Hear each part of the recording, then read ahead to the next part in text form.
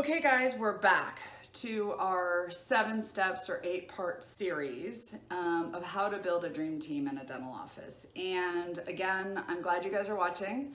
I hope by now I've gotten some more comments and some feedback. And like I said, I'm recording these at a at groups at a time. So I will finish this eight part series. I'm on the road again this week. Um, I'll be back next week and I'll do more videos. So the more you guys interact and comments you make, my team's watching it, um, the more I can make more videos um, specific to what you need in your office. So I'm, I'm hoping you're getting something out of this. Please let me know because I'm sitting in a house by myself answering questions that I think are needed um, to be answered in the dental office. Um, but if I'm wasting my time, let me know. I'm hoping not. Um, if you don't know me, if you haven't watched the first ones, go back and look, but I'm Laura from Front Office Rocks. I'm not a consultant, I'm an office manager. Um, but I do have a background in organizational development, human resources, and I've done a ton of education and training um, on building teams and change management and organizational development. Um, a lot of stuff that we really don't hear much about or talk about in the dental industry. So I thought, why not um, kind of start talking about it on my YouTube channel? So if I haven't said it already, please subscribe, set the notifications up so that you get notified when I put a new video out video out. And in this one, we're gonna talk about um, the third step, the third piece of the recipe, the third thing that I think you need when it comes to building a dream team. So the first thing we talked about was um, having a great leader, right? Our dentist, our office managers, and actually, honestly, everybody on the team needs to be a great leader. That's kind of part of building a dream team is that um, we're all leaders when it comes down to it. But starting with good leadership. Secondly, it's starting or it's having a great team. Uh, and that doesn't mean just the hiring part of it. It also means you. You're part of the team. You need to step up and act like a team. This is not a one one person job. This is, is a team. So that's the second part. The third part is culture. And what culture is is really the environment. The um, it's the it's the feeling of what it's like in your office. Um, I mentioned this earlier on in other videos. I can tell when an office has good culture or not when I walk in the door. Um, you can feel it. It's like an energy. Think about when you walk into a, a medical doctor's office. Um, or I have a better one. Think about when you walk into the DMV or wherever you get your driver's license or any sort of a government office. Do you think that they like their jobs? Do you think that they look up to their leaders? Do you think that people like to be there? You can feel it, right? It's like there's just this this this about it. That's their culture. Versus if you walk into a Nordstrom's or um, a Starbucks, right? And everybody's happy to see you there and they greet you and, and people smile at you and they like their jobs. That's the culture. So a culture is something, it's kind of like, and I just recently saw a speaker on this and I wish I could remember the name of the book. I will get it and we'll put it in the show notes in the bottom or, or message me and I'll send you the name of the book. Um, but it was a, it was somebody who was talking about how culture is like a garden.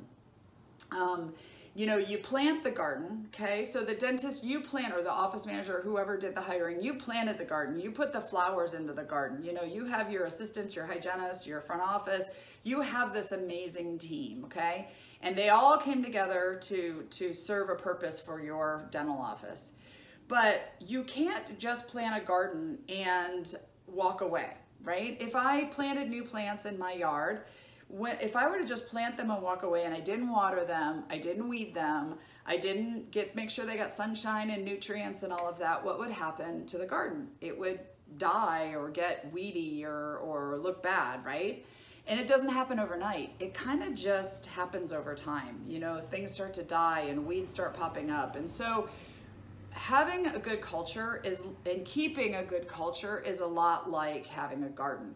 It has to be maintained, monitored, it has to be nourished, it has to be um, given um, what it needs to grow and to blossom and to bloom. That's the same with your culture in your office. We need to start with the right foundation, right? Which is having the right leadership and having the right team. But then we need to build an environment that is um, pleasant, fun to work in, enjoyable, everybody's doing their job, everybody's getting along, and things can be handled as they come up, meaning as a weed pops up, so as some drama festers, or as we have a stressful day and now there's a little bit of attitude at the end of the day, that needs to be handled right away. In order to maintain a great culture, we have to make sure we're addressing the bad along with the good. We also need to be investing in feeding our team in flowers, right? We need to be making sure we're giving them training, that we're having fun games, that we're enjoying our jobs, that we're rewarding our team or patting them on the back and saying, good job. And that doesn't always need to come just from the dentist down or just from the office manager down. It's okay for you guys as team members to say, hey, you did a good job today. I saw what you did with that patient. That was amazing. Or thanks for the help today. I really appreciate you stepping up and, and going an extra mile for me. All of that plays into the culture, okay?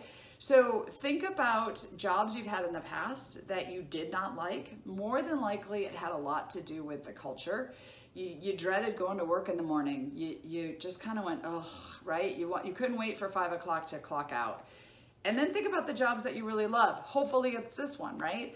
That um, you love going to work. You, you know what your purpose is. You know where we're going as a team. You do what you can to make the environment great. You make sure that you're not showing up with an attitude and that you're jumping in and helping. That's an amazing culture. And it takes the team to build and, and foster that culture. So a culture isn't something that you can just say, here, this we need this environment. Make this go like this. Everybody needs to smile. Everybody needs to have fun. Everybody needs to take care of patients. It's not as easy as a policy manual. It's not as easy as a check sheet. Do these 10 things. It is a it's a feeling, it's an energy, and it's really what your patients feel. I mean, patients don't know if you're a good dentist or not. They know how they feel when they're in the office. They know the experience they have when they're in your office. And if your culture is one that people don't want to come to, is one that people don't really like, is one that people are just want to get in and out, you're really not going to be able to build that dream team and take care of your patients the way you want. So I would suggest, if you haven't done this, maybe take some time with your team to go, hey, what do we love about our office? What do we think we do really well? What do, what do we enjoy about working together? And then what are some areas that we think we want to improve upon? And this isn't pointing fingers and saying, well, she has an attitude and she doesn't show up on time and she doesn't jump in. But instead, let's talk about as a team, what are some areas that we think we could be doing better? Could we do better with teamwork? Could we do better with our communication skills? Could we do better with um, helping each other out or respecting the doctor or putting patients first?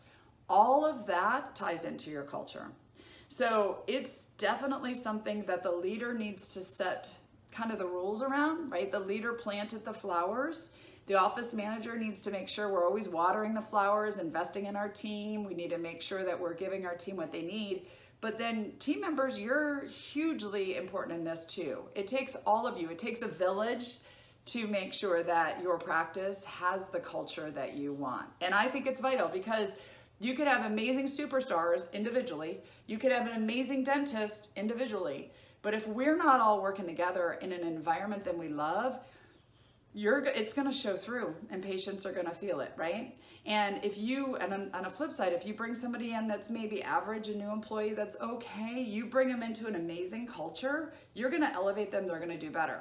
You bring a superstar into an, a new office that's got a really bad culture, you're going to bring them down okay? So the culture has a huge impact on performance and building a dream team really starts with you guys looking at what's going on in the practice, the energy, the culture, what you are telling the public, what you're telling your patients, and if you can work on that, you're gonna see everything improve in your practice. So take some time if you haven't already to, to kind of think through this and, and see, you know, where you guys can improve in your practice. Look for my next one. I'm gonna talk about next is the why.